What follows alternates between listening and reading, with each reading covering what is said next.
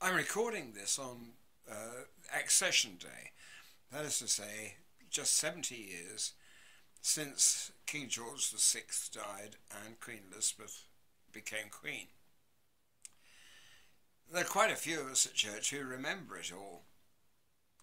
And we have got used to singing God Save the Queen instead of God Save the King. And you're, in due course, you're all going to have to get used to say, singing God Save the King again in, uh, in a few years' time. The early 1950s were a time of great change. It, uh, the Queen came to the throne in 52, and in 1953, Stalin died. Well, that was a big change, uh, and the Soviet Union became somewhat less threatening. Change is something which we all have to put up with all the time. In fact, we should rejoice in it.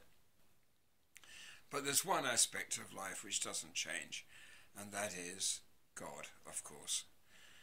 And in my experience, Jesus, who I understand perhaps better than I understand uh, the, the, the Father, Jesus is a constant in my life. And I am so thankful for that. And I can only recommend that you try to put your faith in him.